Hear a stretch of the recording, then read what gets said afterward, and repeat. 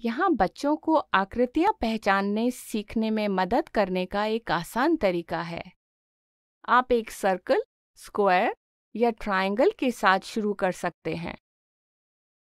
आप जहाँ भी हैं, आप एक आकृति को इशारा कर सकते हैं और फिर बच्चे को ऐसी चीज़ मिल सकती है जो उस आकार की हो।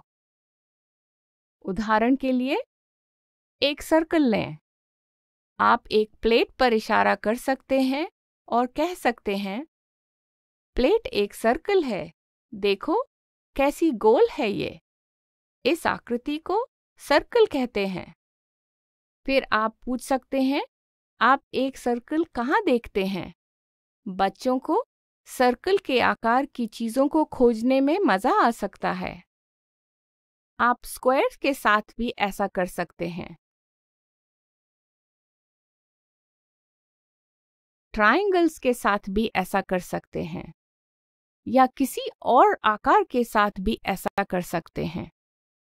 आकृतियाँ हर जगह हैं, इसलिए उन्हें पहचानना, सिखाना बच्चों को उनके आसपास की दुनिया को समझने में मदद करेगा।